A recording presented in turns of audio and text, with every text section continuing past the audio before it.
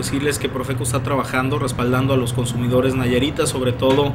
en estas fechas de muy alto consumo como es el día del, de San Valentín o el Día del Amor y la Amistad.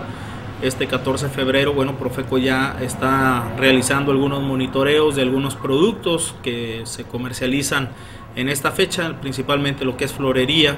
en la cuestión de tiendas y regalos, tiendas comerciales,